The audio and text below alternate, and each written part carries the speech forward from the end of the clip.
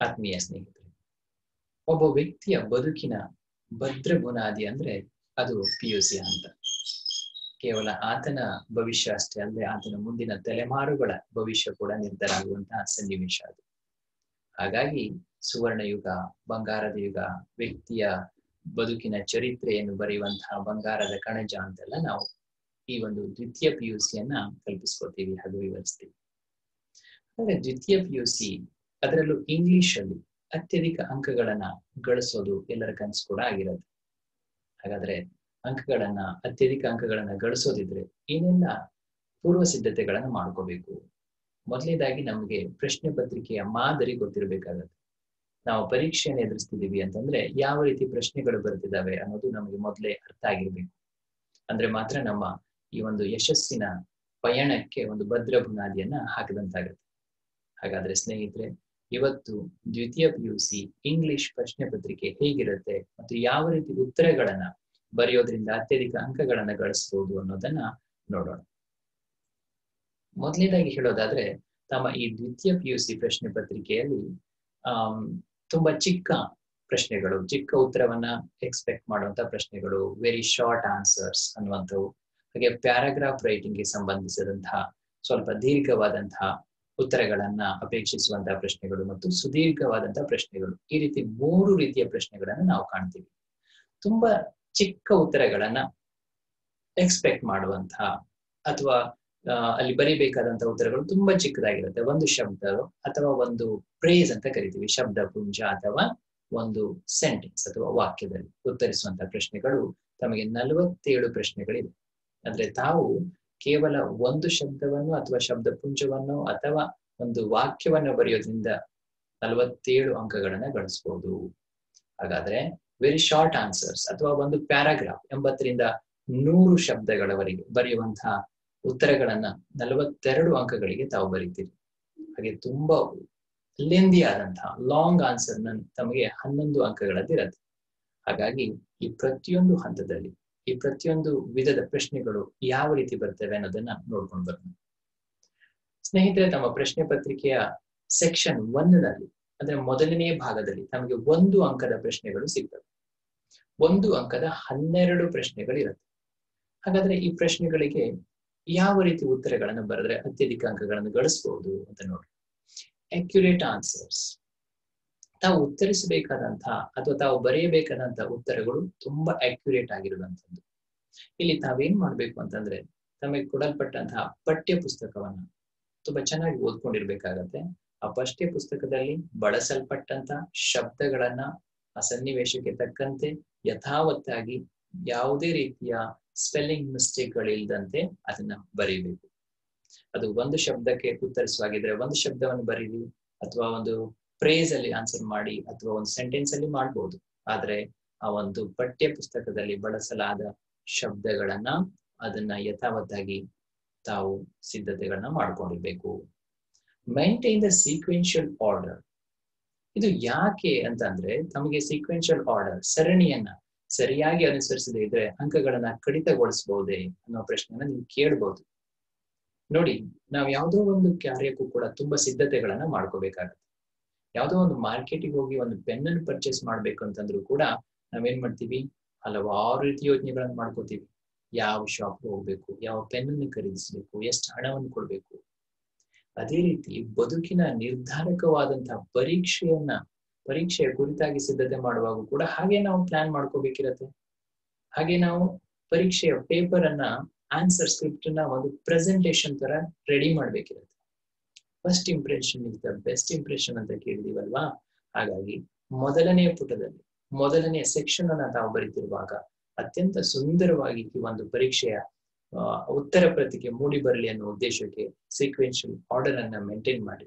ಇದು ನಿಮ್ಮ paper evaluate ಮಾಡೋರಲ್ಲಿ ನಿಮ್ಮ ಕುರಿತಾದಂತಹ ಧನಾತ್ಮಕ ಚಿಂತನೆಯನ್ನ ಹುಟ್ಟಾಕುತ್ತೆ ಹಾಗೆ ನಿಮ್ಗೆ ಹೆಚ್ಚಿನ ಅಂಕಗಳನ್ನು ಪಡ್ಕೊಳ್ಳೋದಕ್ಕೆ ಅನುಕೂಲ ಕೂಡ ಆಗತ್ತೆ.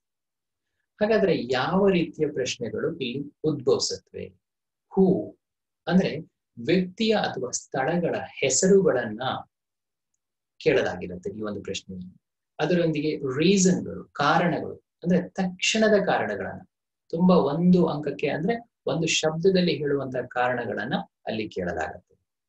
ಮುಂದೆ ಬಂದ್ಬಿಟ್ಟು ಟೈಮ್ ಅಂಡ್ ಡ್ಯೂರೇಷನ್ಗೆ ಸಂಬಂಧಿಸಿದಂತಹ ಪ್ರಶ್ನೆಗಳು ಹಾಗೂ ಸ್ಥಳಕ್ಕೆ ಸಂಬಂಧಿಸಿದ ಪ್ರಶ್ನೆಗಳು ಮತ್ತೆ ಸ್ಟ್ಯಾಟಿಸ್ಟಿಕ್ಗೆ ಸಂಬಂಧಿಸಿದಂತ ಪ್ರಶ್ನೆಗಳನ್ನ ಕೇಳ್ತಾರೆ. ಇಲ್ಲಿ ಯಾವ ಈಗ ಟೈಮ್ ಮತ್ತೆ ಡ್ಯೂರೇಷನ್ ಎಷ್ಟು ಅವಧಿಯವರೆಗೆ, ಎಷ್ಟು ತಿಂಗಳುಗಳವರೆಗೆ ಅನ್ನುವಂಥ ಪ್ರಶ್ನೆಗಳು. ಯಾವ ಸ್ಥಳದಲ್ಲಿ? ಮೊನ್ಯಾಕೋ ಅನ್ನುವಂಥ ಕಿಂಗ್ಡಮ್ ಇರುತ್ತೆ, ಎರಡನೇ ಪಾಠದಲ್ಲಿ ಬರುತ್ತೆ ಅದು ಟೂ ಡಿಯರ್ ಅನ್ನುವಂಥದ್ದು. ಆ ಮೊನ್ಯಾಕೋ ಅನ್ನುವಂಥ ಕಿಂಗ್ಡಮ್ ಯಾವ ಪ್ರದೇಶದಲ್ಲಿ ಇತ್ತು ಯಾವೆರಡು ದೇಶಗಳ ನಡುವೆ ಇತ್ತು? ಇಟಲಿ ಮತ್ತೆ ಫ್ರಾನ್ಸ್ ನಡುವೆ ಇರುವಂತಹ ದೇಶ ಆಗಿದೆ ಅದು ಮೊನ್ಯಾಕೋ ಹಾಗಾದ್ರೆ ಅದು ಯಾವ ಪ್ರದೇಶದಲ್ಲಿದೆ? ಅಥವಾ ಯಾವ ಎರಡು ದೇಶಗಳ ಗಡಿಗಳನ್ನು ಹೊಂದಿದೆ ಅನ್ನುವಂಥ ಪ್ರಶ್ನೆ. ಆ ಮೊನೆಗೂ ಅನ್ನುವಂಥ ಆ ರಾಜ್ಯದ ಜನಸಂಖ್ಯೆ ಎಷ್ಟಿತ್ತು? ಈ ರೀತಿಯಾದಂತಹ ಪ್ರಶ್ನೆಗಳನ್ನ ಇಲ್ಲಿ ಕೇಳ್ತಾರೆ. ಹಾಗಾಗಿ ಸ್ನೇಹಿತರೆ, ನೀವು ಒಂದು ಅಂಕದ ಪ್ರಶ್ನೆಗಳಿಗೆ ಸಿದ್ಧತೆಯನ್ನ ಮಾಡಿಕೊಳ್ಳುವಾಗ ಪಠ್ಯ ಪುಸ್ತಕವನ್ನ ಓದ್ತಿರುವಾಗ ಎಲ್ಲಿ ಈ ಎಲ್ಲ ಮೇಲೆ ಇಲ್ಲಿ ಗುರುತಿಸಲ್ಪಟ್ಟಂತಹ ಪ್ರಶ್ನೆಗಳು ಸಿಕ್ಕು? ಅದು ಹೆಸರು ಸಂಬಂಧಿಸಿದಿರ್ಬೋದು ಕಾರಣ ಸಮಯ ಮತ್ತು ಅವಧಿ, ಸ್ಥಳ ಮತ್ತು ಸ್ಟ್ಯಾಟಿಸ್ಟಿಕ್ ಈಗ ಸಂಬಂಧಿಸಿದಂತ ಯಾವುದೇ ಸನ್ನಿವೇಶ ಬಂದ್ರೂ ಕೂಡ ಅದನ್ನ ಅಲ್ಲಿ ಅಂಡರ್ಲೈನ್ ಮಾಡಿಟ್ಕೋಬೇಕು ಅಥವಾ ಒಂದು ನೋಟ್ ಬುಕ್ ಅಲ್ಲಿ ಸಪರೇಟ್ ಆಗಿ ಬರೆದಿಟ್ಕೋಬೇಕು. ಇದರಿಂದ ನಿಮ್ಮ ಎಕ್ಸಾಮಿನೇಷನ್ ಟೈಮ್ ಅಲ್ಲಿ ತುಂಬಾ ಸಮಯ ಉಳಿ, ಉಳಿತಾಯ ಆಗುತ್ತೆ. ಅದ್ರ ಜೊತೆಲಿ ನಿಮಗೆ ಸಂಪೂರ್ಣವಾದಂತಹ ಸಿದ್ಧತೆಗೂ ಕೂಡ ಅನುಕೂಲ ಆಗುತ್ತೆ. ಇನ್ನು ಎರಡನೆಯ ಸೆಕ್ಷನ್ಗೆ ಬಂದ್ಬಿಟ್ಟು ತಮ್ಮ ಲಿಟ್ರೇಚರ್ ಪಾರ್ಟಿನ ಎರಡನೇ ಸೆಕ್ಷನ್ ಅನ್ನ ಇಲ್ಲಿ ಕೇಳ್ತಾರೆ.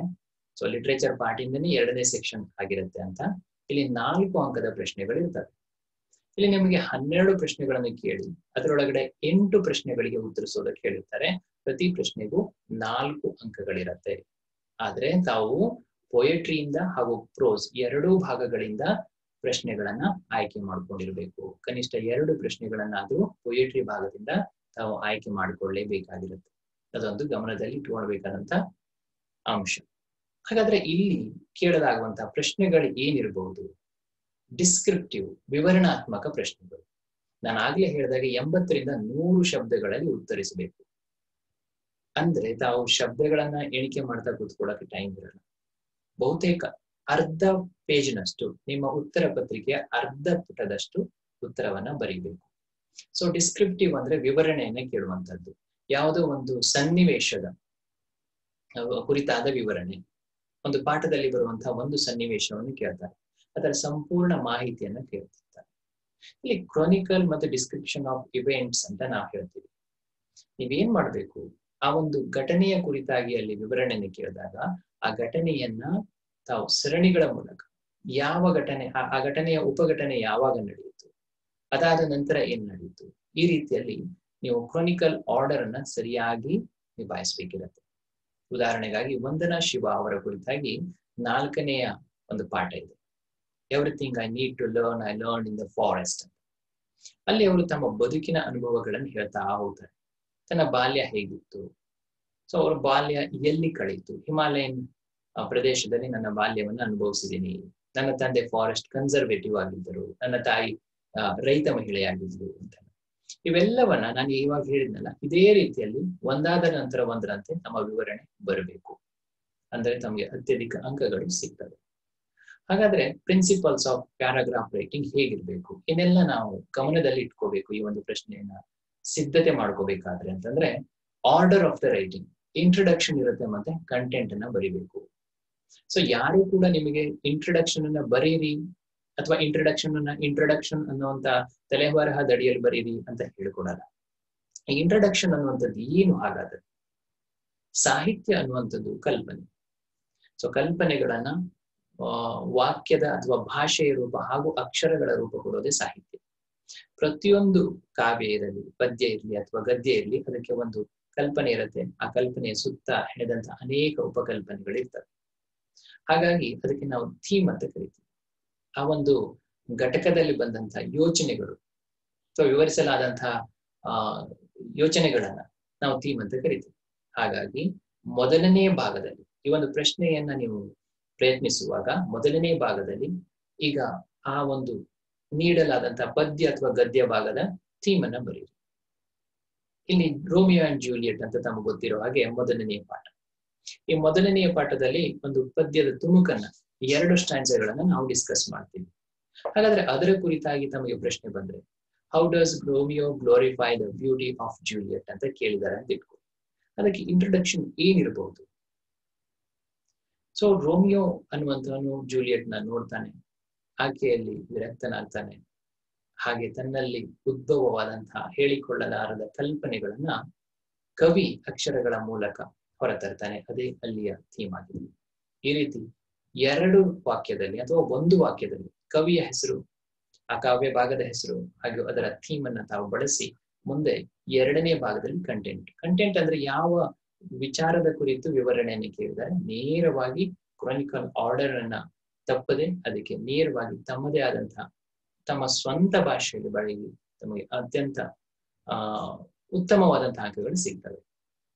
ಗಮನದಲ್ಲಿ ಇಟ್ಕೋಬೇಕಾಗಿದ್ದು ತಮ್ಮ ಅತ್ಯುತ್ತಮವಾದಂತಹ ಹ್ಯಾಂಡ್ ರೈಟಿಂಗ್ ಕೈ ಬರಹ ತುಂಬಾ ಮುಖ್ಯವಾದದ್ದು. ಹಾಗಾಗಿ ನೀವು ಪ್ರಾಕ್ಟೀಸ್ ಮಾಡಲೇಬೇಕಿರುತ್ತೆ. ಗ್ರಾಮ್ಯಾಟಿಕಲ್ ಕನ್ಸ್ಟ್ರಕ್ಷನ್ ಅನ್ನುವಂಥದ್ದು ಕೂಡ ಬಹಳ ಮುಖ್ಯ. ಭಾಷೆಯ ಮೇಲಿನ ಹಿಡಿತ ಎಷ್ಟಿದೆ ನಿಮ್ಗೆ ಅನ್ನೋದನ್ನ ಜಡ್ಜ್ ಮಾಡ್ಲೇಬೇಕಿರುತ್ತೆ. ಇವ್ಯಾಲ್ಯುವೇಟರ್ ಹಾಗಾಗಿ ಅದನ್ನ ನೋಡೇ ನೋಡ್ತಾರೆ. Usage of adequate linkers linkers ಜೊತೆಯಲ್ಲಿ ಪ್ರಿಪೋಸಿಷನ್ ಇರ್ಬೋದು ಆರ್ಟಿಕಲ್ ಇರ್ಬೋದು, ಇವೆಲ್ಲವುಗಳ ಸರಿಯಾದ ಸಮ್ಮಿಶ್ರಣ ಇದರಲ್ಲಿ ಇರಬೇಕಾಗುತ್ತೆ. ಹಾಗೆ ಪರಿಣಾಮಕಾರಿಯಾದಂತಹ ಏನು ಪದಪುಂಜವನ್ನು ಬಳಸೋದು. ಸೊ ಒಂದು ಶಬ್ದಕ್ಕೆ ಸಾವಿರಾರು ಪದಪುಂಜಗಳನ್ನು ಬಳಸ್ಬೋದಿರ್ಬೋದು. ಅನೆ, ಅಥವಾ ಅನೇಕ ಪದಪುಂಜಗಳನ್ನು ಬಳಸ್ತೀವಿ ಸೊ ಸಿನೋನಿಮ್ಸ್ ಅಂತ ಕರೀತೀವಿ ಆದ್ರೆ ಆ ಒಂದು ಸನ್ನಿವೇಶಕ್ಕೆ ತಕ್ಕಂತೆ, ಆ ಒಂದು ಸಂದರ್ಭಕ್ಕೆ ತಕ್ಕಂತೆ ಸರಿಯಾದ ಪದಪುಂಜಗಳ ಬಳಕೆಯ ಕೌಶಲ್ಯವನ್ನ ಕರಗತ ಮಾಡ್ಕೊಳ್ಳಿ. ಹಾಗಂತ ನಾಲ್ಕು ಅಂಕದ ಪ್ರಶ್ನೆ ಅಂತ ಸುಮ್ಮನೆ ಬರ್ಕೋತಾ ಹೋದ್ರೆ ನಮಗೆ ಸಮಯದ ಅಭಾವವಾಗುವಂತಹ ಒಂದು ಸಾಧ್ಯತೆ ಇರೋದ್ರಿಂದ ಕೇವಲ ಎಂಬತ್ತರಿಂದ ನೂರು ಶಬ್ದಗಳು ಅಂದ್ರೆ ಅರ್ಧ ಪುಟದಷ್ಟು ಮಾತ್ರ ಬರೀರಿ. ಹಾಗೆ ತಮ್ಮ ಉತ್ತರವನ್ನ, ಉತ್ತರದಲ್ಲಿ ಬಳಸಲಾದಂತಹ ಈ ಪಠ್ಯ ಪುಸ್ತಕದಿಂದ ತೆಗೆದಂತಹ ನೇರವಾದ ಶಬ್ದಗಳು. ಅಂತಹ ಶಬ್ದಗಳನ್ನ ದಯವಿಟ್ಟು ಪೆನ್ಸಿಲ್ ಇಂದ ಅಥವಾ ಪೆನ್ನಿಂದ ಅಂಡರ್ಲೈನ್ ಮಾಡಿ, ಅವು ಹೈಲೈಟ್ ಆಗಿ ಕಾಣೋ ಹಾಗೆ ಮಾಡಿ, ಅದನ್ನ ಇವ್ಯಾಲ್ಯುವೇಟರ್ ಗಮನಿಸ್ತಾರೆ, ತಮಗೆ ಉತ್ತಮವಾದ ಅಂಕಗಳನ್ನು ಕೊಡ್ತಾರೆ. ಇನ್ನು ಮೂರನೇ ಸೆಕ್ಷನ್ ಬಂದ್ಬಿಟ್ಟು, ಇದು ಇಪ್ಪತ್ತ್ ಮೂರನೇ ಪ್ರಶ್ನೆ ಇರತ್ತೆ. ತಮ್ಮ ಪ್ರಶ್ನೆ ಪತ್ರಿಕೆಯ ಒಂದರಿಂದ ಹನ್ನೆರಡು ನಾನು ಈಗಾಗಲೇ ವಿವರಿಸಿದ ಸೆಕ್ಷನ್ ಒನ್ ಎಲ್ಲ ಪ್ರಶ್ನೆಗಳು ಕೂಡ ಕಂಪಲ್ಸರಿ ಇದೆ. ಹನ್ನೆರಡು ಪ್ರಶ್ನೆಗಳಾಯ್ತು. ಆಮೇಲೆ ಹದಿಮೂರರಿಂದ ಇಪ್ಪತ್ತೆರಡು ಪ್ರಶ್ನೆಗಳಿರ್ತವೆ. ಅಲ್ಲಿ ತಾವು ಯಾವ್ದಾದ್ರು ಎಂಟು ಪ್ರಶ್ನೆಗಳನ್ನ ಅರ್ಧ ಪುಟಕ್ಕೆ ಮೀರದಂತೆ ಉತ್ತರಿಸಬೇಕಿದೆ. ಅವು ಹೇಗೆ ಉತ್ತರಿಸಬೇಕು ಅನ್ನೋದನ್ನ ಈಗಾಗಲೇ ನೋಡಿದೀವಿ. ಹಾಗಾಗಿ ಇಪ್ಪತ್ತ್ ಮೂರನೇ ಪ್ರಶ್ನೆ ಬಂದ್ಬಿಟ್ಟು ಆರು ಅಂಕದ ಪ್ರಶ್ನೆ ಸೆಕ್ಷನ್ ಮೂರು. ಇಲ್ಲಿ ತಮ್ಗೆ ಮೂರು ಪ್ರಶ್ನೆಗಳನ್ನ ಕೇಳ್ತಾರೆ ಈ ಮೂರು ಪ್ರಶ್ನೆಗಳಲ್ಲಿ ಯಾವುದಾದರೂ ಒಂದನ್ನ ಉತ್ತರಿಸಬೇಕಿದೆ. ಅದೆಷ್ಟು ಉತ್ತರಗಳನ್ನು ಬರಿಬೇಕು? ಸುಮಾರು ಎರಡು ನೂರು ಶಬ್ದಗಳಿಗೆ ಮೀರದಂತೆ ತಮ್ಮ ಉತ್ತರ ಇರಬೇಕು. ಹಾಗಾದ್ರೆ ಇಲ್ಲೂ ಕೂಡ ವಿವರಣಾತ್ಮಕವಾದ ಪ್ರಶ್ನೆಗಳನ್ನು ಕೇಳಬಹುದು. ಆದ್ರೆ ವಿವರಣೆಗಿಂತ ಹೆಚ್ಚಾಗಿ ವಿಶ್ಲೇಷಣಾತ್ಮಕ ನೆರೇಟಿವ್ ಪ್ರಶ್ನೆಗಳನ್ನ ಕೇಳಿರ್ತಾರೆ. ನೆರೇಟಿವ್ ಅಂದ ಅಕ್ಷರ ನಾವು ಸಂಪೂರ್ಣವಾದಂತಹ ಒಂದು ಘಟಕದ ಅಥವಾ ಒಂದು ಘಟಕದ ಮೂಲವಾದಂತಹ ಒಂದು ಸನ್ನಿವೇಶದ ವಿವರಣೆಯಾಗಿರುತ್ತೆ. ಇಲ್ಲಿ ವಿವರಣಾತ್ಮಕವಾಗಿರಲಿ ಅಥವಾ ನೆರೇಟಿವ್ ಆಗಿರಲಿ ತಮ್ಮ ಉತ್ತರ ಲೆಂದಿ ಆಗಿರುತ್ತೆ. ಹಾಗಾಗಿ ತಮ್ಮ ಸ್ವಂತ ವಿವೇಚನೆಯನ್ನ ಮತ್ತು ಕಲ್ಪನೆಗಳನ್ನ ಸಮ್ಮಿಳಿತಗೊಳಿಸಿ ಪಠ್ಯಪುಸ್ತಕದಲ್ಲಿ ನೀಡಲಾದಂತಹ ಘಟನೆಗಳನ್ನ ಬರೆಯುವಂತಹ ಕೌಶಲ್ಯಕ್ಕೆ ಹೆಚ್ಚಿನ ಅಂಕಗಳು ಸಿಗ್ತವೆ. ಕೊಹೆರೆನ್ಸ್ ಅಂದ್ರೆ ಸುಸಂಬದ್ಧತೆ ಅಥವಾ ಒಂದು ವಾಕ್ಯಕ್ಕೂ ಹಾಗೂ ಇನ್ನೊಂದು ವಾಕ್ಯದ ನಡುವಿನ ಸಂಬಂಧ ಅಂತ ನಾವು ಕರಿಬಹುದು. ಅದು ಸರಿಯಾಗಿರ್ಬೇಕು. ಲಾಜಿಕಲ್ ಅಂಡ್ ವೆಲ್ ಆರ್ಗನೈಸ್ಡ್ ಅತ್ಯಂತ ಕಾಳಜಿಯುಕ್ತವಾಗಿ ಆರ್ಗನೈಸ್ ಮಾಡಿದಂಥದ್ದಾಗಿರ್ಬೇಕು ಹಾಗೂ ತಾರ್ಕಿಕವಾಗಿಯೂ ಕೂಡ ಸರಿಯಾಗಿರುವಂಥದ್ದು. ಹಾಗಾಗಿ ಸ್ವಲ್ಪ ಪ್ರಯತ್ನಶೀಲತೆ ಅನ್ನುವಂಥದ್ದು ಮುಖ್ಯ ಇಲ್ಲಿ. ನಾವು ಪ್ರಯತ್ನಶೀಲರಾದಲ್ಲಿ ಖಂಡಿತವಾಗಿಯೂ ಈ ಒಂದು ಸೆಕ್ಷನ್ನಲ್ಲಿ ಆರು ಅಂಕಗಳಿಗೆ ಪರೀಕ್ಷೆಯನ್ನ ಅತ್ಯುತ್ತಮವಾದಂತಹ ಅಂಕಗಳನ್ನ ಪಡೆಯಬಹುದು. ಇಲ್ಲಿ ನಾವು ಈಗಾಗಲೇ ನಾಲ್ಕು ಅಂಕದ ಪ್ರಶ್ನೆಗಳಿಗೆ ಇಂಟ್ರೊಡಕ್ಷನ್ ಮತ್ತೆ ಕಂಟೆಂಟ್ ಎರಡನ್ನ ಬರೀಲಿ ಅಂತ ಹೇಳಿದೆ. ಹಾಗಾದ್ರೆ ಆರು ಅಂಕಕ್ಕೆ ಇಷ್ಟು ಸಾಕಾಗಲ್ಲ. ಇಂಟ್ರೊಡಕ್ಷನ್ ಇಂಟ್ರೊಡಕ್ಷನ್ ಅಂದ್ರೆ ಆ ಒಂದು ಪಾಠ ಅಥವಾ ಆ ಒಂದು ಪದ್ಯವನ್ನ ಬರೆದಂತಹ ಕವಿ, ಆತನ ಕುರಿತಾಗಿ ಒಂದು, ಒಂದೆರಡು ಶಬ್ದಗಳು ಹಾಗೂ ಆ ಒಂದು ಪಾಠ, ಪಾಠದ ಹೆಸರು ಹಾಗೂ ಅಲ್ಲಿ ಬಳಸಲಾದಂತಹ ಥೀಮ್ಗಳು. ಈ ಮೂರನ್ನ ಸೇರಿಸಿ ನಾವು ಇಂಟ್ರೊಡಕ್ಷನ್ ಅನ್ನ ನಾಲ್ಕು ಅಂಕಕ್ಕೆ ಬರ್ಕೊಂಡು ಹಾಗೆ ಬರಿತೀವಿ. ಕಂಟೆಂಟ್ ಅನ್ನುವಂಥದ್ದು ಇಲ್ಲಿ ವಿವರಣಾತ್ಮಕ ಅಥವಾ ವಿಶ್ಲೇಷಣಾತ್ಮಕವಾದದ್ದಿರುತ್ತೆ. ಅದರ ಜೊತೆಯಲ್ಲಿ ಕನ್ಕ್ಲೂಷನ್ ಕೂಡ ಇರುತ್ತೆ. ಆದ್ರೆ ದಯವಿಟ್ಟು ನೋಡಿ, ಈಗ ನಾವು ಪ್ರಬಂಧಗಳನ್ನ ಅಥವಾ ಇತರ ಕೋರ್ ಸಬ್ಜೆಕ್ಟ್ಗಳಲ್ಲಿ ಬರದ ಹಾಗೆ ಇಂಟ್ರೊಡಕ್ಷನ್ ಕಂಟೆಂಟ್ ಕನ್ಕ್ಲೂಷನ್ ಅನ್ನುವಂತ ತಲೆಬರಹಗಳನ್ನ ಎಲ್ಲಿಯೂ ಕೂಡ ಬರೆಯೋದಕ್ಕೆ ಹೋಗಬೇಡಿ. ಮೊದಲನೇ ಪ್ಯಾರಾಗ್ರಾಫ್ ಇಂಟ್ರೊಡಕ್ಷನ್ ಅಂತ ಎಲ್ಲರಿಗೂ ಗೊತ್ತಿದೆ, ಹಾಗೆ ಇರಬೇಕು. ಎರಡನೇ ಪ್ಯಾರಾಗ್ರಾಫ್ ಅಲ್ಲಿ ನಿಮ್ಮ ಕಂಟೆಂಟ್ ಇರುತ್ತೆ, ಮೂರನೇ ಪ್ಯಾರಾಗ್ರಾಫ್ ಅಲ್ಲಿ ಕನ್ಕ್ಲೂಷನ್ ಇರುತ್ತೆ. ಕನ್ಕ್ಲೂಷನ್ ಯಾವತ್ತು ವಿಶ್ಲೇಷಣೆ ಆಗಿರ್ಬೇಕು ಭಾಷೆಗಳಲ್ಲಿ ಇದು ಇತರ ಪ್ರಬಂಧದಲ್ಲಿ ಕನ್ಕ್ಲೂಷನ್ ಅದು ಹಾಗೂ ಈ ಪ್ರಶ್ನೆ ಉತ್ತರಕ್ಕೂ ಕೂಡ ತುಂಬಾ ವ್ಯತ್ಯಾಸ ಇದೆ. ಪ್ರಬಂಧದಲ್ಲಿ ನಾವೇನ್ ಮಾಡ್ತೀವಿ? ಕನ್ಕ್ಲೂಷನ್ ಅಂತಂದ್ರೆ ಇಂಟ್ರೊಡಕ್ಷನ್ ಪಾರ್ಟ್ ಅನ್ನ ಇನ್ನೊಮ್ಮೆ ರಿಕ್ಯಾಪ್ಚುಲೇಟ್ ಮಾಡ್ತೀವಿ. ಅಥವಾ ಹೇಳಲ್ಪಟ್ಟ ಎಲ್ಲ ವಿಚಾರಗಳನ್ನ ಇನ್ನೊಮ್ಮೆ ಅಲ್ಲಿ ಬಳಸ್ತೀವಿ ಸೂಕ್ಷ್ಮವಾಗಿ. ಆದ್ರೆ ಇಲ್ಲಿ ಬೇಕಾಗಿರುವಂತದ್ದು ತಮ್ಮ ವಿಶ್ಲೇಷಣೆ. ಒಂದು ನಾಟಕದ ಭಾಗವನ್ನು ಕೇಳಬಹುದು ಒಂದು ಪದ್ಯದ ಭಾಗವನ್ನು ಕೇಳಬಹುದು ಆ ಪದ್ಯದಲ್ಲಿ ಇಮೇಜರಿಗಳನ್ನ ಯಾಕೆ ಬಳಸಿದ್ದಾರೆ? ಅಥವಾ ಹೇಗೆ ಬಳಸಿದ್ದಾರೆ? ಅವುಗಳ ಪ್ರಬುದ್ಧತೆ ಎಷ್ಟು ಅನ್ನೋದನ್ನು ಕೇಳಬಹುದು ಹಾಗೆ ಯಾವುದೋ ಒಂದು ಪಾತ್ರದ ಕುರಿತಾಗಿ ಕೇಳಬಹುದು ಈ ರೀತಿಯಾದಂತಹ ಪ್ರಶ್ನೆಗಳನ್ನ ಕೇಳ್ತಾರೆ. ಹಾಗಾಗಿ ಕನಿಷ್ಠ ಮೂರು ಪ್ಯಾರಾಗ್ರಾಫ್ಗಳಿಗೆ ಮೀರದಂತಹ ತಮ್ಮ ಮೂರು ಪ್ಯಾರಾಗ್ರಾಫ್ ಹಾಗೂ ಅದಕ್ಕೂ ಮೀರದಂತಹ ತಮ್ಮ ಉತ್ತರವಿರಲಿ. ಅತ್ಯುನ್ನತವಾದಂತಹ ಕೈ ಬರಹವಿರಲಿ ಗ್ರಾಮ್ಯಾಟಿಕಲ್ ಕನ್ಸ್ಟ್ರಕ್ಷನ್ ಅಂತ ಹೇಳ್ತೀವಿ ಲಿಂಕರ್ಸ್ಗಳ ಬಳಕೆ ಇರ್ಬೋದು. ಅದರೊಂದಿಗೆ ಎಫೆಕ್ಟಿವ್ ವೊಕ್ಯಾಬುಲರಿ ಸೇರಿಕೊಂಡ್ರೆ ನಿಮ್ಮ ಉತ್ತರ ಅತ್ಯುತ್ತಮವಾದ ಉತ್ತರವಾಗಿರುತ್ತೆ. ನೆನಪಿಟ್ಕೊಳ್ಳಿ, ಇಲ್ಲಿ ಇಡಿಯಮ್ಸ್ ಫ್ರೇಸಸ್ ಮತ್ತೆ ಪ್ರೊವರ್ಬ್ ಗಳನ್ನ ಕೂಡ ಬಳಸುವಂತಹ ಅವಕಾಶವಿದೆ. ಇದನ್ನ ತಪ್ಪಬೇಡಿ, ಇದನ್ನ ಬಿಡಬೇಡಿ. ಕಂಟೆಂಟ್ ಪಾರ್ಟ್ ಅಲ್ಲಿ ಸಿಕ್ಕಂತಹ ಸನ್ನಿವೇಶಕ್ಕೆ ಹೊಂದಾಣಿಕೆ ಆಗುವಂತಹ ಯಾವುದೇ ಗಾದೆ ಮಾತಿರ್ಬೋದು ಇಡಿಯಮ್ಸ್ ಫ್ರೇಸಸ್ ಇದ್ರೆ ಬಳಸಿ, ಆದ್ರೆ ಅವುಗಳು ಸಂಬಂಧವನ್ನು ಹೊಂದಿರಬೇಕು. ಯಾವ ಉದಾಹರಣೆಯನ್ನು ಕೊಡ್ತೀವಿ ಅನ್ನೋದು ಮುಖ್ಯ ಅಲ್ಲ, ಅಥವಾ ಯಾರ ಉದಾಹರಣೆಯನ್ನು ಕೊಡ್ತೀವಿ ಅನ್ನೋದು ಮುಖ್ಯವಲ್ಲ, ಆ ಉದಾಹರಣೆ ಈ ಒಂದು ಉತ್ತರಕ್ಕೆ ಎಷ್ಟು ಸಂಬಂಧವನ್ನು ಹೊಂದಿದೆ, ಸುಸಂಬದ್ಧವಾಗಿದೆ ಅನ್ನುವಂಥದ್ದು ಮುಖ್ಯ ಆಗುತ್ತೆ. ಹಾಗಾಗಿ ಎರಡು ನೂರು ವಾಕ್ಯಗಳಿಗೆ ಮೀರದಂತೆ ಉತ್ತರವನ್ನು ಬರೀರಿ ಆ ಉತ್ತರದಲ್ಲಿ ಬಂದಂತಹ ಪಠ್ಯದಿಂದ ತೆಗೆದುಕೊಳ್ಳಲಾದಂತಹ ಶಬ್ದಗಳನ್ನ ಅಂಡರ್ಲೈನ್ ಮಾಡಿ, ಹಾಗೆ ಒಂದು ಪುತ್ರ, ಒಂದು ಉತ್ತರ ಮುಕ್ತಾಯವಾದ ನಂತರ. ಯಾವುದೋ ಒಂದು ಗೆರೆ ಎಳೆದು ಆ ಉತ್ತರವನ್ನ ನೀಟಾಗಿ ಒಂದು ಬಾಕ್ಸ್ ಅಲ್ಲಿ ಇಡುವಂತಹ ಪ್ರಯತ್ನ ಇವುಗಳನ್ನ ಮಾಡಬಹುದು. ಆದ್ರೆ ತಮ್ಮ ಸಮಯದ ಪರಿಮಿತಿಯನ್ನು ಕೂಡ ಅರ್ಥ ಮಾಡ್ಕೋಬೇಕಿರುತ್ತೆ.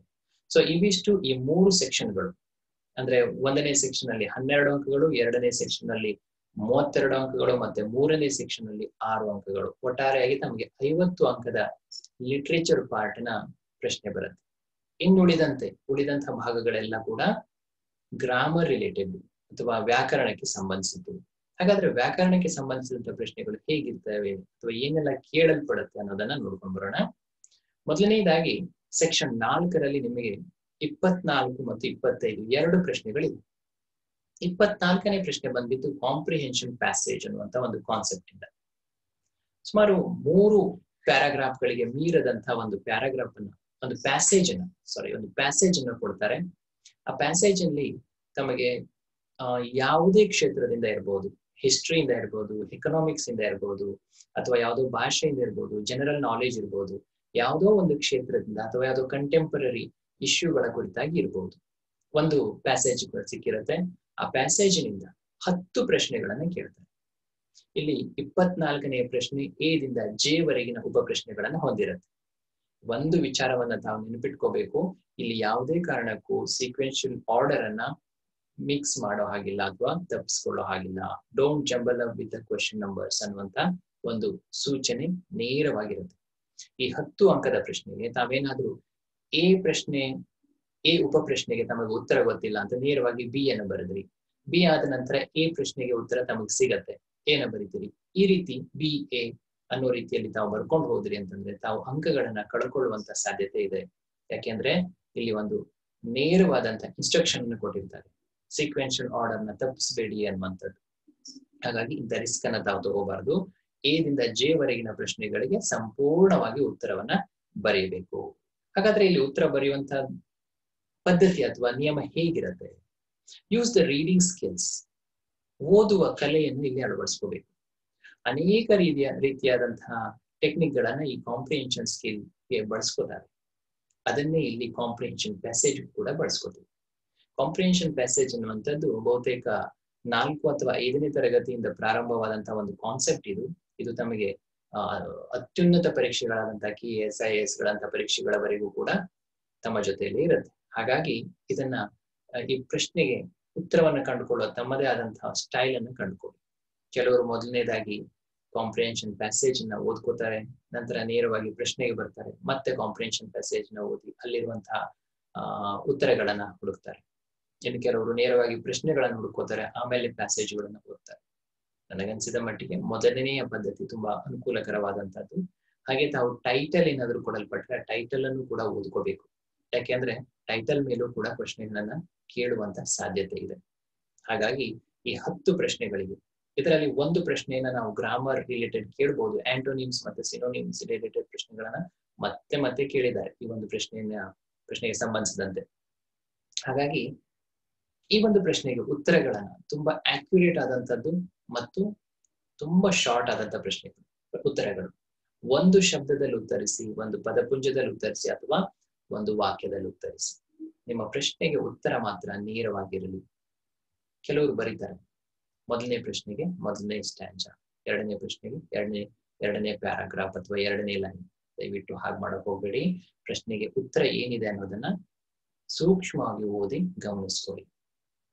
ಇದಾದ ನಂತರ ನಿಮಗೆ ಇಪ್ಪತ್ತೈದನೇ ಪ್ರಶ್ನೆ ಬಂದ್ಬಿಟ್ಟು ಕಾಂಪ್ರಿಹೆನ್ಷನ್ ಪೋಯಂ ಇದು. ತಮ್ಮ ವರ್ಕ್ ಬುಕ್ ಅಲ್ಲಿ ಹದಿನಾರು ಪೋಯಂಗಳನ್ನು ಕೊಟ್ಟಿದ್ದಾರೆ. ಆ ಹದಿನಾರು ಪೋಯಂಗಳಲ್ಲಿ ಯಾವುದೋ ಒಂದು ಪೋಯಂನ ಒಂದು ಸ್ಟ್ಯಾಂಜವನ್ನ ತಮಗೆ ಮೂರು ಅಂಕದ ಪ್ರಶ್ನೆಯಾಗಿ ಕೇಳಿರ್ತಾರೆ. ಸೊ ಒಂದು ಸ್ಟ್ಯಾಂಜಾನ ಕೊಟ್ಟಿರ್ತಾರೆ. ಆ ಸ್ಟ್ಯಾಂಜದ ಮೇಲೆ ಅಥವಾ ಅದಕ್ಕೆ ಸಂಬಂಧಿಸಿದಂತೆ ನಿಮಗೆ ಮೂರು ಪ್ರಶ್ನೆಗಳಿರ್ತವೆ. ಆ ಮೂರು ಪ್ರಶ್ನೆಗೂ ಕೂಡ ತಾವು ಒಂದೊಂದು ವಾಕ್ಯದಲ್ಲಿ ಉತ್ತರಿಸಬೇಕಿದೆ. ಅಲ್ಲೂ ಕೂಡ ಯಾವುದೇ ರೀತಿ ಸೀಕ್ವೆನ್ಷಿಯಲ್ ಆರ್ಡರ್ನಲ್ಲಿ ಬದಲಾವಣೆ ಆಗೋದು ಬೇಡ. ಹಾಗೆ ಕ್ವಶನ್ ನಂಬರ್ ಸರಿಯಾಗಿರ್ಲಿ, ಜೊತೆಗೆ ನೇರವಾದ ಉತ್ತರವಿರಲಿ. ಹಾಗೆ ಹ್ಯಾಂಡ್ ರೈಟಿಂಗ್ ಕೂಡ ತುಂಬಾ ಚೆನ್ನಾಗಿರ್ಬೇಕು. ಇವಿಷ್ಟನ್ನ ನಿಮ್ಮ ಇಪ್ಪತ್ನಾಲ್ಕು ಮತ್ತು ಇಪ್ಪತ್ತೈದನೇ ಪ್ರಶ್ನೆಗಳು ಕಾಂಪ್ರಿಹೆನ್ಷನ್ ಸ್ಕಿಲ್ಗೆ ಸಂಬಂಧಿಸಿದ್ದು. ನಮ್ಮ ಇಪ್ಪತ್ತಾರನೇ ಪ್ರಶ್ನೆ ಬಂದ್ಬಿಟ್ಟು ವರ್ಬ್ಗೆ ಸಂಬಂಧಿಸಿದ್ದು. ಇದು ಮೂರು ಅಂಕದ ಪ್ರಶ್ನೆ. ಒಂದು ಚಿಕ್ಕದಾದಂತಹ ಪ್ಯಾರಾಗ್ರಾಫ್ ಅನ್ನ ಕೇಳಲಾಗಿರುತ್ತೆ. ವಿಶೇಷತೆ ಅಂತಂದ್ರೆ ಸರಿಯಾದ ವರ್ಬ್ ಫಾರ್ಮ್ ಅನ್ನ ಮೂಲಕ ಕೆಳಗಿನ ಪ್ಯಾರಾಗ್ರಾಫ್ ಅನ್ನ ಪೂರ್ತಿಗೊಳಿಸಿ ಅನ್ನೋ ರೀತಿಯಲ್ಲಿ ಪ್ರಶ್ನೆ ಇರುತ್ತೆ. ಆದ್ರೆ ಗಮನಿಸಬೇಕಾಗಿದೆ ಏನಂದ್ರೆ, ಈ ಒಂದು ಪ್ರಶ್ನೆ ಪ್ಯಾಸಿವ್ ವಾಯ್ಸ್ ಅಲ್ಲಿ ಇರುತ್ತೆ.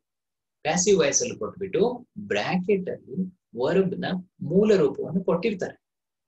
ಹಾಗಾಗಿ ತಾವು ಪ್ಯಾಸಿವ್ ವಾಯ್ಸ್ ಅಲ್ಲಿ ವರ್ಬ್ ಯಾವ ರೂಪವನ್ನ ಪಡ್ಕೊಳ್ಳತ್ತೆ ಯಾವ ಟೆನ್ಸ್ಗೆ ಯಾವ ರೂಪದಲ್ಲಿ ಇರುತ್ತೆ ಅನ್ನೋದನ್ನ ನೆನ್ಪಿಟ್ಕೋಬೇಕು.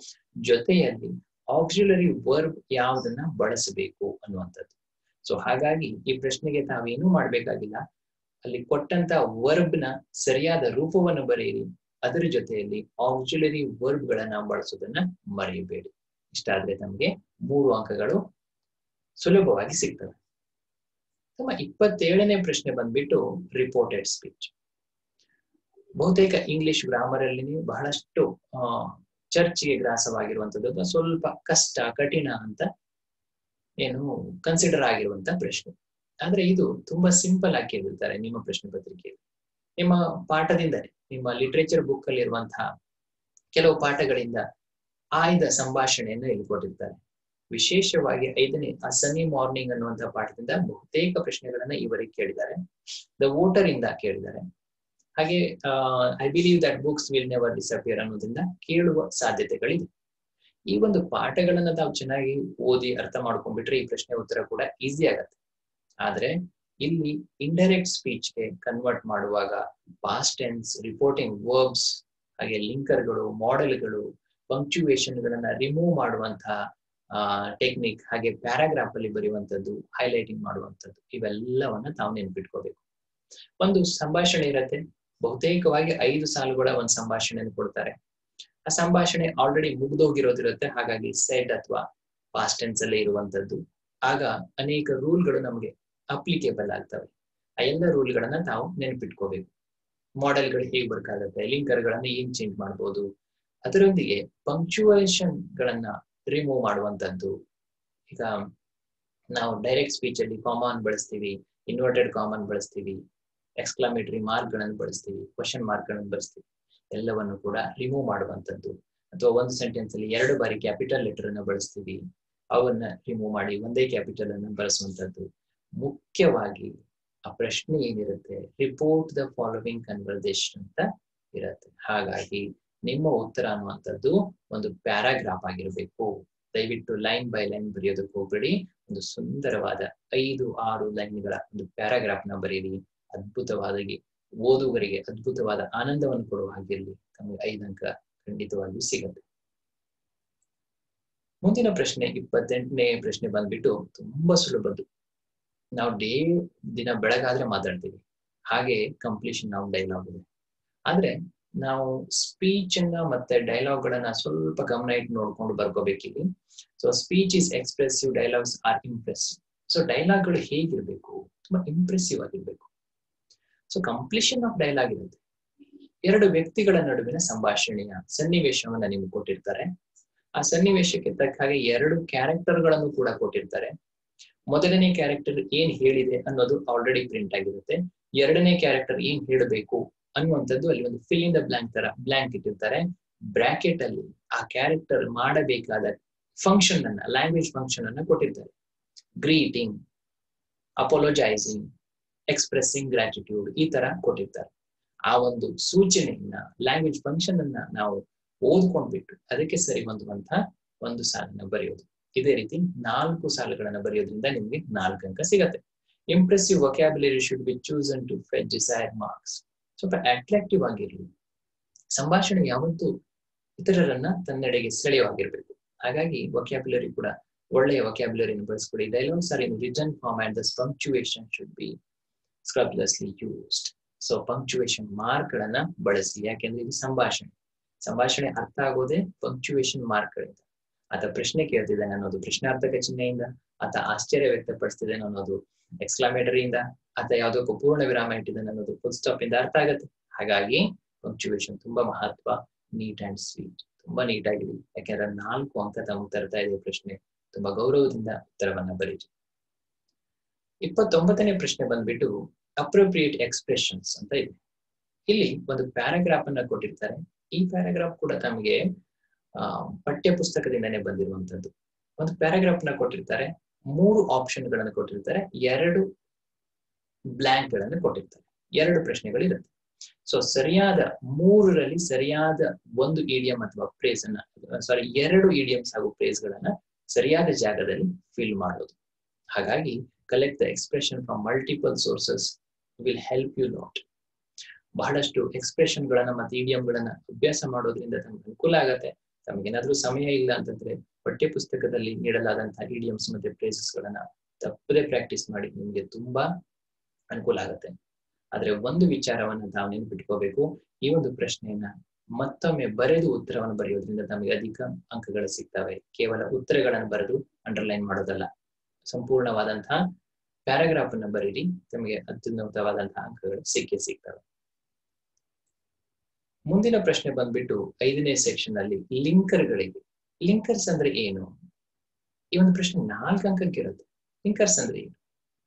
The word or phrases which connect two things in the sentence or two sentences in the paragraph are called linkers.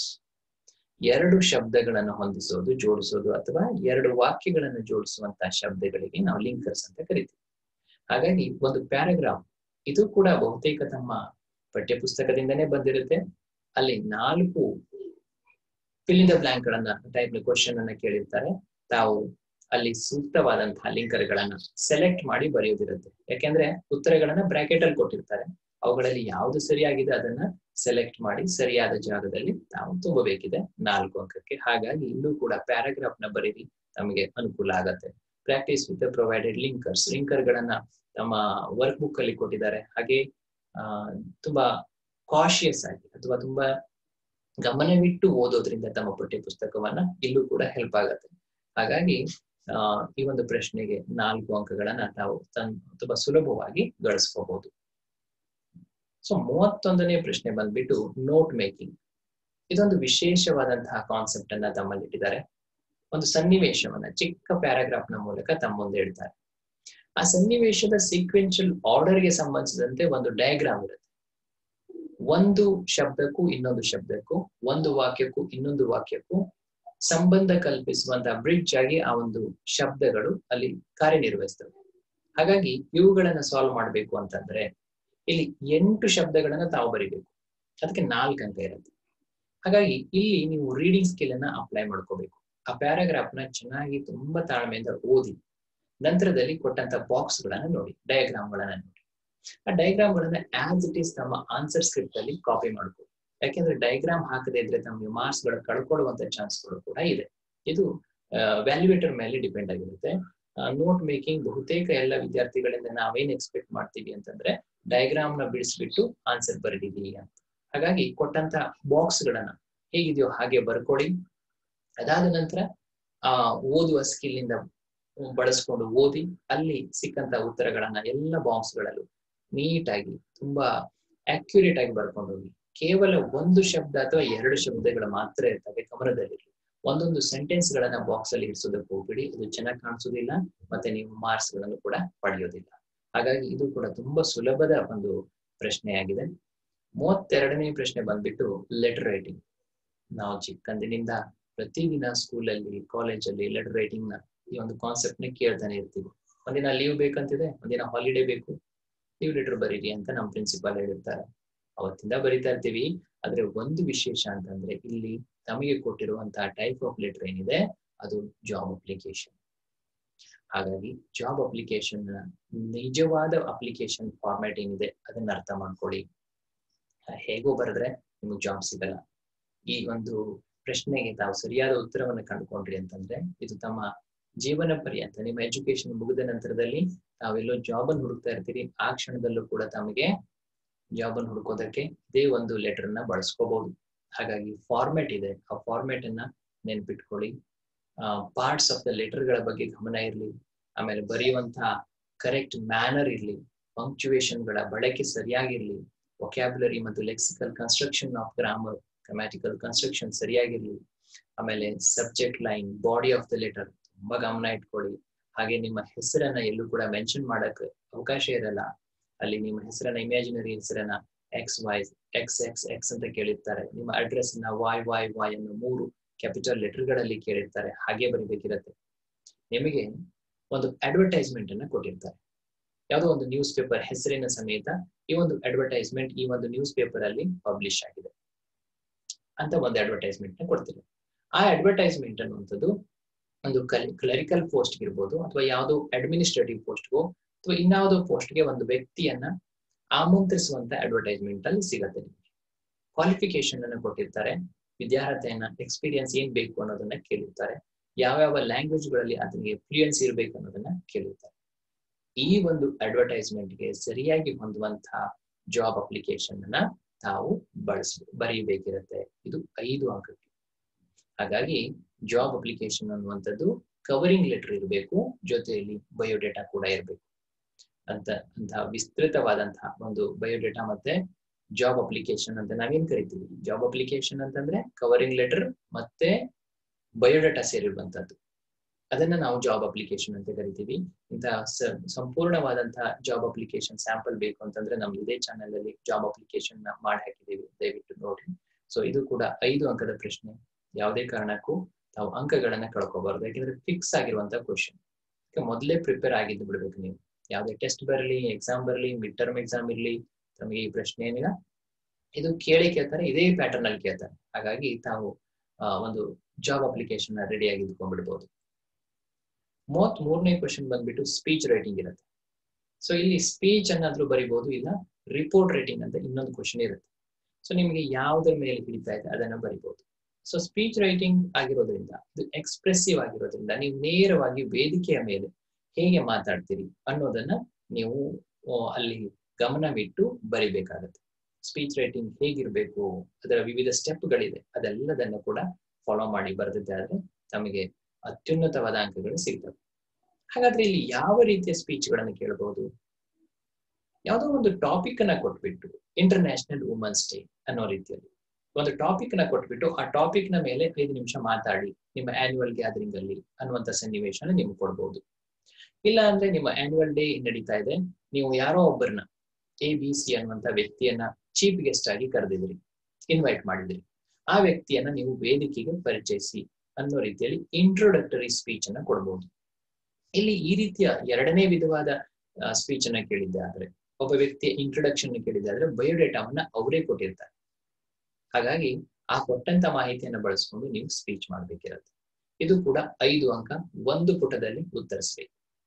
Job application ಎರಡು ಪುಟ ಆಗುತ್ತೆ. ಒಂದು ಕವರಿಂಗ್ ಲೆಟರ್ ಇನ್ನೊಂದು ಬಯೋಡೇಟಾ ಐದು ಅಂಕಗಳಿಗೆ ಅದರಲ್ಲಿ ನಿಮಗೆ ಚಾಯ್ಸ್ ಇಲ್ಲ. ನೀವು ಅದನ್ನು ಬರೀಲೇಬೇಕಿದೆ. ಆದ್ರೆ ಇಲ್ಲಿ ಸ್ಪೀಚ್ಗೆ ನಿಮಗೆ ಚಾಯ್ಸ್ ಇದೆ. ನೀವು ಈ ರಿಪೋರ್ಟ್ ಅನ್ನು ಕೂಡ ಮಾಡ್ಕೋಬಹುದು ಅದಕ್ಕೂ ಮೊದಲು ನೀವು ಸ್ಪೀಚ್ ಅನ್ನ ಮಾಡಿದ್ರೆ ಹೇಗಿರ್ಬೇಕು? ಆಡಿಯನ್ಸ್ನ ಅಡ್ರೆಸ್ ಮಾಡಬೇಕು. ಹಾಗೆ ನಿಮ್ಮ ಆಡಿಯನ್ಸ್ ಯಾರು ಅನ್ನೋದು ಗಮನ ನಿಮ್ಗಿರ್ಬೇಕು. ಈಗ ನಿಮ್ಮ ಆನ್ಯುವಲ್ ಡೇ ಆದ್ರೆ ಯಾರೆಲ್ಲ ಇರ್ತಾರೆ? ನಿಮ್ಮ ಕಾಲೇಜ್ ಫಂಕ್ಷನ್ ಆದ್ರೆ ಯಾರೆಲ್ಲ ಇರ್ತಾರೆ? ಅನ್ನೋ ರೀತಿಯಲ್ಲಿ ನಿಮ್ಗಿರ್ಬೇಕು. ಹಾಗೆ ಟಾಪಿಕ್ನ ಕುರಿತಾಗಿ ನೇರವಾದಂತ ಸ್ಟೇಟ್ಮೆಂಟ್ಗಳು ಬರಲಿ. ಹಾಗೆ ಬರೆಯುವಾಗ ಯಾವುದೋ ಒಂದು ಅನ್ನೆಸೆಸರಿ ವಿಚಾರಗಳನ್ನ ತುಂಬಾ ಸಾರಿ ಅದನ್ನ ಒತ್ತಿ ಒತ್ತಿ ಹೇಳುವಂತ ಅವಶ್ಯಕತೆ ಇಲ್ಲ. ಎಷ್ಟು ಬೇಕು ಅಷ್ಟನ್ನೇ ಒತ್ತಿ ಹೇಳಬೇಕಿದೆ. Right like you talk you are writing a speech not an S ಎಸ್ಸೆಗೂ ಮತ್ತು ಸ್ಪೀಚ್ಗೂ ಇರುವಂತಹ ವ್ಯತ್ಯಾಸವನ್ನ ಗಮನಿಸ್ಕೊಳ್ಳಿ. ನಿಮ್ಮ ಹೇಗೆ ಪ್ರೆಸೆಂಟ್ ಮಾಡ್ತೀರಿ, ನೀವು ವೇದಿಕೆ ಮೇಲೆ ಹೇಗೆ ಮಾತಾಡ್ತೀರಿ, ಹಾಗೆ ಬರೀರಿ ಸೊ ಮೊದಲನೇದಾಗಿ ಆರ್ಡರ್ ಅನ್ನ ನೋಡ್ಕೊಳ್ಳಿ. ತುಂಬಾ ಬ್ರೀಫ್ ಆಗಿ ಕೊಡ್ತಾ ಇದ್ದೀನಿ. ಇನ್ ಡೀಟೇಲ್ ಆಗಿ ನಮ್ಮ ಚಾನೆಲ್ ಅಲ್ಲಿ ಸದ್ಯದಾಗ ಬರುತ್ತೆ. ಸ್ಪೀಚ್ ರೈಟಿಂಗ್ ಸಂಬಂಧಪಟ್ಟಂತಹ ಗೈಡೆನ್ಸ್ಗಳು ಸಿಗ್ತವೆ. ಅದನ್ನ ನೋಡ್ಕೊಳ್ಳಿ. ಮೊದಲನೇದಾಗಿ ಗ್ರೀಟಿಂಗ್ ಇರಬೇಕು. ಹಾಗೆ ಎರಡನೇದಾಗಿ ಆ ಒಂದು ಟಾಪಿಕ್ ಏನು ಅನ್ನೋದರ ಅನೌನ್ಸ್ಮೆಂಟ್ ಇರಬೇಕು. ಎರಡನೇದಾಗಿ ಮೇನ್ ಪಾಯಿಂಟ್ಸ್ ಕಂಟೆಂಟ್ ಅಲ್ಲಿ ತಮ್ಮ ಮೇನ್ ಪಾಯಿಂಟ್ಸ್ ಗಳನ್ನ ಕೊಡಬೇಕು. ಆಮೇಲೆ ಫ್ಯಾಕ್ಟ್ ಗಳನ್ನ ಸರಿಯಾದ ರೀತಿಯಲ್ಲಿ ಪ್ರೆಸೆಂಟ್ ಮಾಡಿ, ಸರಿಯಾದ ವಸ್ತುತಿಥಿಯನ್ನೇ ಯಾವುದು ಕಲ್ಪನಾತ್ಮಕವಾದಂತಹ ವಿವರಣೆಗಳನ್ನು ಕೊಡೋದಕ್ಕೆ ಹೋಗ್ಬೇಡಿ. ಹಾಗೆ ಎಕ್ಸಾಂಪಲ್ಗಳು ಆಪ್ಟ್ ಆಗಿರ್ಲಿ, ಅಂದ್ರೆ ಸೂಟೇಬಲ್ ಆಗಿರ್ಲಿ, ಹಾಗೆ ವರ್ಡ್ಸ್ ಆಫ್ ಗ್ರಾಟಿಟ್ಯೂಡ್ ಅನ್ನ ಕೊಡೋದನ್ನ ಮರಿಬೇಡಿ. ಎಂಡ್ ಅಲ್ಲಿ ನನಗೆ ಈ ಅವಕಾಶಕ್ಕಾಗಿ ತುಂಬಾ ಸಂತೋಷವನ್ನು ವ್ಯಕ್ತಪಡಿಸ ಬಯಸ್ತೀನಿ ಅನ್ನುವಂಥದ್ದನ್ನ ಹಾಗಾಗಿ ಲಿಂಕರ್ಸ್ ತುಂಬಾ ಮುಖ್ಯ. ಪ್ರೆಸೆಂಟೇಷನ್ ಇಲ್ಲಿ handwriting alignment punctuation etcetera they are very important for us and vocabulary also you keep these all things in your mind of course, you are going to score good marks in this question also. And here we have another section 33 ನಾನು ಹೇಳಿದಾಗೆ optional question ಇರುತ್ತೆ. Report writing ನಿಮಗೆ speech ಬರೆಯೋದು boring ಇದೆ ನನಗೆ ಅಷ್ಟು interest ಇಲ್ಲ ಅಂತಂದ್ರೆ ನೀವು ರಿಪೋರ್ಟ್ ಬರೆಯೋದನ್ನ ಮಾಡ್ಕೋಬಹುದು ಇಲ್ಲಿ ನಿಮಗೆ ಮೂರು ತರದ ಪ್ರಶ್ನೆಗಳನ್ನು ಕೇಳ್ತೀವಿ ಡೇಟಾವನ್ನ ರಿಪ್ರೆಸೆಂಟ್ ಮಾಡುವಂತದ್ದು ಇದು. ಇಲ್ಲಿ ನಿಮಗೆ ಪೈ ಚಾರ್ಟ್ ಅನ್ನ ಕೊಡ್ಬೋದು. ಬಾರ್ ಗ್ರಾಫ್ ಅನ್ನ ಕೊಡ್ಬೋದು ಅಥವಾ ಲೀನಿಯರ್ ಗ್ರಾಫ್ ಅನ್ನ ಕೊಡ್ಬೋದು. ಈ ಮೂರರಲ್ಲಿ ಯಾವುದೋ ಒಂದು ಗ್ರಾಫ್ ಅನ್ನ ಕೊಟ್ಟಿರ್ತಾರೆ. ಆ ಗ್ರಾಫ್ ಯಾವುದೋ ಒಂದು ವಿಚಾರವನ್ನ ರಿಪ್ರೆಸೆಂಟ್ ಮಾಡ್ತಿರತ್ತೆ. ಪಾಪ್ಯುಲೇಷನ್ ಇರ್ಬೋದು, ಹಾಗೆ ಯಾವುದೋ ಒಂದು ವಿಚಾರವನ್ನ, ಯಾವುದೋ ಒಂದು ಬರ್ತ್ ರೇಟ್ ಇರ್ಬೋದು, ಅದ್ರ ಜೊತೆಯಲ್ಲಿ ಯಾವುದೋ ಒಂದು ಪ್ರಾಡಕ್ಟ್ನ ಪ್ರೊಡಕ್ಟಿವಿಟಿ ಇರ್ಬೋದು, ಯಾವುದೋ ಒಂದು ಬೆಳೆ ಎಷ್ಟು ಕ್ವಿಂಟಲ್ಗಳವರೆಗೆ ಬೆಳೆಯಲಾಗಿದೆ ಅನ್ನೋ ರೀತಿಯಲ್ಲಿ ಇರ್ಬೋದು ಮೈಗ್ರೇಷನ್ ಆಫ್ ಪೀಪಲ್ ಇರ್ಬೋದು ಇವುಗಳಿಗೆ ಸಂಬಂಧಿಸಿದಂತೆ ಮೂರರಲ್ಲಿ ಯಾವುದೋ ಒಂದು ರೀತಿಯ, ಈಗ ಬಾರ್ ಗ್ರಾಫ್ ಆಗಿದ್ರೆ ಒಂದು ಬಾರ್ ಗ್ರಾಫ್ ಇರುತ್ತೆ, ಎರಡು ಡೇಟಾವನ್ನ ರಿಪ್ರೆಸೆಂಟ್ ಮಾಡುತ್ತೆ. ಲೀನಿಯರ್ ಗ್ರಾಫ್ ಆದ್ರೂ ಕೂಡ ಒಂದು ಲೀನಿಯರ್ ಗ್ರಾಫ್ ಇರುತ್ತೆ, ಎರಡು ಡೇಟಾವನ್ನ ರಿಪ್ರೆಸೆಂಟ್ ಮಾಡುತ್ತೆ. ಅದೇ ಪೈ ಚಾರ್ಟ್ ಇದ್ರೆ ಎರಡು ಪೈ ಚಾರ್ಟ್ಗಳಿರುತ್ತೆ, ಒಂದು ಪೈ ಚಾರ್ಟ್ ಇನ್ನೊಂದು ಪೈ ಚಾರ್ಟ್ಗೆ ಹೊಂದಾಣಿಕೆಯಾಗಿ, ಎರಡ್ ಸಾವಿರದ ಹತ್ತರ ರಿಪ್ರೆಸೆಂಟೇಶನ್ ಒಂದು, ಎರಡ್ ಸಾವಿರದ ಇಪ್ಪತ್ತರ ರಿಪ್ರೆಸೆಂಟೇಷನ್ ಒಂದು, ಈ ರೀತಿಯಲ್ಲಿ ಹೊಂದಾಣಿಕೆಯನ್ನ ಕೇಳಿರ್ತಾರೆ ಇವುಗಳಿಗೆ ಕುರಿತಂತೆ ನೀವು ರಿಪೋರ್ಟ್ ಮಾಡಬೇಕು. ಆ ರಿಪೋರ್ಟ್ ಕೂಡ ತನ್ನದೇ ಆದಂತಹ ಅನೇಕ ಹಂತಗಳಿದೆ. ಆ ಹಂತಗಳನ್ನ ನಾವು ಆಮೇಲೆ ಇನ್ನೊಂದು ವಿಡಿಯೋದಲ್ಲಿ ಚರ್ಚೆ ಮಾಡೋಣ. ಹಾಗಾಗಿ ಆ ಟೈಪ್ಸ್ ಆಫ್ ಚಾರ್ಟ್ಗಳ ಕುರಿತಾಗಿ ಅರ್ಥ ಮಾಡ್ಕೊಳ್ಳಿ. ಹಾಗೆ ನಿಮ್ಮ ರೆಫರೆನ್ಸ್ ಸ್ಕಿಲ್ಗೆ ಸಂಬಂಧಿಸಿದ್ದು ಇದು. ಫಸ್ಟ್ ಪಿ ಯು ಸಿಯಲ್ಲಿ ಕೂಡ ತಮಗೆ ರೆಫರೆನ್ಸ್ ಸ್ಕಿಲ್ಗೆ ಸಂಬಂಧಿಸಿದಂತೆ ಇನ್ವಿಟೇಷನ್ ಕಾರ್ಡ್ಗಳನ್ನು ಕೊಡ್ತಿದ್ದು. ಇನ್ವಿಟೇಷನ್ಗೆ ಸಂಬಂಧಿಸಿದಂತೆ ಕ್ವಶನ್ ಆನ್ಸರ್ ಮಾಡಬೇಕಿತ್ತು. ಇದು ಕೂಡ ಅದೇ ರೀತಿಯದ್ದು. ಬರೋದ introduction line from the question ಪ್ರಶ್ನೆಯಲ್ಲೇ introduction line ಇರುತ್ತೆ. The following graph represents represent the migration of people from rural to urban area ಅಂತಿದೆ. ಅವಾಗ ಆ ರೀತಿಯಾದಂತಹ ಸೆಂಟೆನ್ಸ್ ಬಂತು ಅಂದ್ರೆ ನಿಮ್ಮ ಹೆಡ್ಡಿಂಗ್ ಟೈಟಲ್ ಕೂಡ ಅಲ್ಲೇ ಬಂದ್ಬಿಡುತ್ತೆ. The migration of people from rural to urban area ಆ ರೀತಿ ಟೈಟಲ್ ಅನ್ನ ಬರ್ಕೊಳ್ಳೋದು. ಇಂಡೈರೆಕ್ಟ್ ಸ್ಪೀಚ್ ಅಲ್ಲಿ ಸ್ಟ್ಯಾಟಿಟಿ ಸ್ಟ್ಯಾಟ್ ಅನ್ನ ನೀವು ರಿಪ್ರೆಸೆಂಟ್ ಮಾಡಬೇಕು.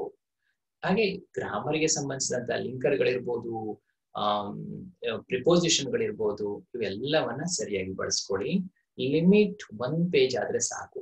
ಒನ್ ಫಿಫ್ಟಿ ವರ್ಡ್ಸ್ ಅಂತ ಹೇಳ್ತೀವಿ. ಒನ್ ಒನ್ ಒನ್ ಪೇಜ್ ಬರೀರಿ. ತುಂಬಾ ಬರಕೋತ್ ಹೋಗ್ಬೇಡ್ರಿ ಹಾಗೆ ಅಂತಿಮ ಭಾಗದಲ್ಲಿ ನಿಮ್ಮ ಓನ್ ಕನ್ಕ್ಲೂಷನ್ನ, ನಿಮ್ಮ ಓನ್ ವ್ಯೂಸ್ನ, ನಿಮ್ಮ ಇಮ್ಯಾಜಿನೇಷನ್ನ ತುಂಬಾ ಪ್ರೊವೋಕಿಂಗ್ ಆಗಿ ಬರೆಯೋದನ್ನ ಮರಿಬೇಡಿ.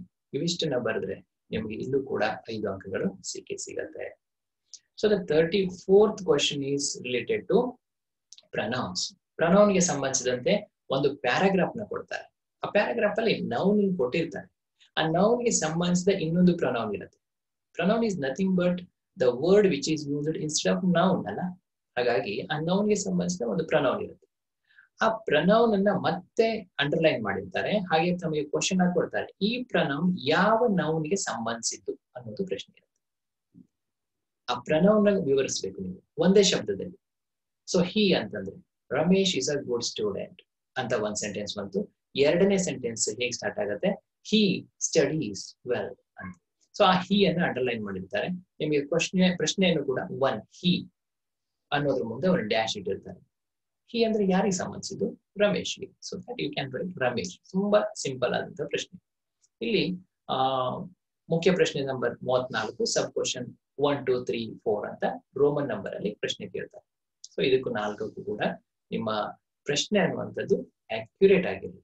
ಸಬ್ ಕ್ವಶನ್ ನಂಬರ್ನ ನೀಟಾಗಿ ಬರೀರಿ. ಒಂದೇ ಕಡೆ ಉತ್ತರಿಸಿ. ಹಾಗೆ ಗಳನ್ನ ಅಂಡರ್ಲೈನ್ ಮಾಡಿ ಮತ್ತೆ ಅಕ್ಯುರೇಸಿ ಹಾಗೆ ತುಂಬಾ ನೀಟ್ ಅಂಡ್ ಟೈಡಿ ವೇದಲ್ಲಿ ಆನ್ಸರ್ ಮಾಡಿ. So the last question of your question paper of thirty fifth question is very simple jumble segments so ನೀವು ನೆನ್ಪಿಟ್ಕೋಬೇಕಾಗಿದ್ದು ನಮ್ಮ ರೂಲ್ಸ್ ಆಫ್ ಸ್ಟ್ರಕ್ಚರ್ ಸೆಂಟೆನ್ಸ್ ಹೇಗಿದೆ ಸಬ್ಜೆಕ್ಟ್ ವರ್ಬ್ ಆಬ್ಜೆಕ್ಟ್ ಅನ್ನುವಂಥದ್ದು. ಅದನ್ನ ಅರ್ಥ ಮಾಡ್ಕೊಂಡ್ರೆ ಅಬಿಲಿಟಿ ಟು ಅಂಡರ್ಸ್ಟ್ಯಾಂಡ್ ಸ್ವಲ್ಪ ಇದ್ರೆ ಲಾಜಿಕಲ್ ಥಿಂಕಿಂಗ್ ಇದ್ರೆ ಕಾಂಪ್ರಿಹೆನ್ಷನ್ ಸ್ಕಿಲ್ ಇದ್ರೆ ಖಂಡಿತವಾಗಿಯೂ ನೀವು ಈ ಪ್ರಶ್ನೆಗೆ ಒಂದು ಅಂಕದ ಪ್ರಶ್ನೆ, ಒಂದಿಷ್ಟು ಶಬ್ದಗಳನ್ನ ಅಲ್ಲಿ, ಇಲ್ಲಿ, ಅಲ್ಲಿ ಪಿಲ್ಲಿಯಾಗಿ ಹರಡಿರ್ತಾರೆ. ನೀವು ಅವೆಲ್ಲವನ್ನ ಒಂದೆಡೆ ಸಂಗ್ರಹಿಸಿ ಒಂದು ಸೆಂಟೆನ್ಸ್ ಮಾಡಬೇಕಿದೆ. ತುಂಬಾ ಸಿಂಪಲ್ ಆಗಿ ನಾವು ಈ ಸೆಂಟೆನ್ಸ್ನ ಮಾಡ್ತೀರಿ.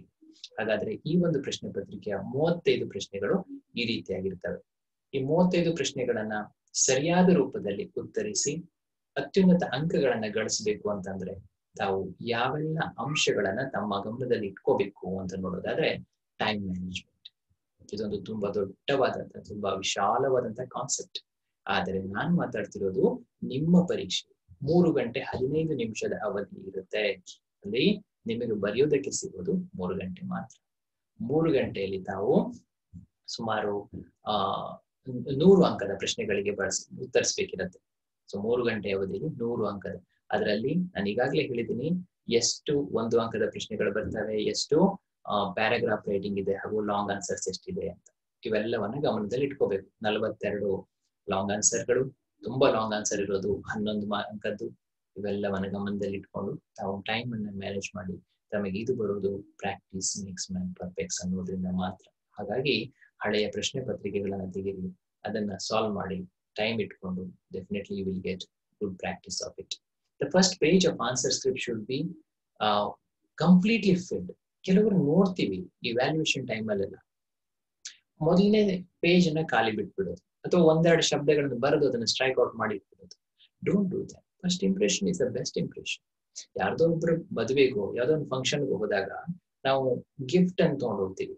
ಹೇಗ್ ತುಂಬಾ ಕಲರ್ಫುಲ್ ಆದಂತಹ ಪೇಪರ್ ಅಲ್ಲಿ ಅದನ್ನ ರ್ಯಾಪ್ ಮಾಡ್ಕೊಂಡು ಹೋಗಿರ್ತೀವಿ. ಅದನ್ನ ವೇದಿಕೆ ಮೇಲೆ ಕೊಟ್ಟಬೇಕು ಅಂತ.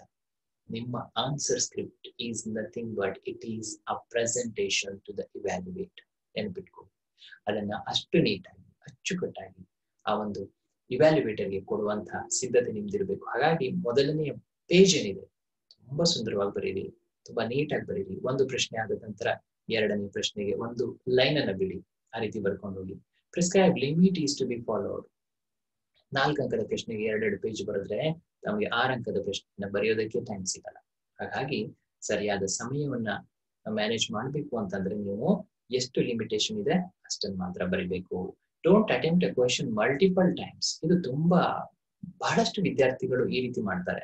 ಒಂದೇ ಪ್ರಶ್ನೆಯಿಂದ ನನಗೆ ಸಮಯ ಇದೆ ಅಂತ ಮತ್ತೊಂದ್ಸಲ ಬರೆಯೋದು. ಎರಡು, ಮೂರು ಸಲ ಬರೆದು ಬಿಡ್ತೀರಿ ಸೊ ಇದರಿಂದ ಯಾವುದೇ ರೀತಿ ಲಾಭ ಇಲ್ಲ. ನಿಮ್ಮ ಶ್ರಮ ಹಾಳಾಗತ್ತಷ್ಟೆ ಮೂರು ಸಲನೋ, ಎರಡ್ ಸಲನೋ ಬರೆಯೋ ಬದಲು ಅದನ್ನ ಒಮ್ಮೆಲೆ ನೀಟಾಗಿ ಬರೀರಿ. ಟೆನ್ ತಗೊಂಡ್ ಬರೀರಿ.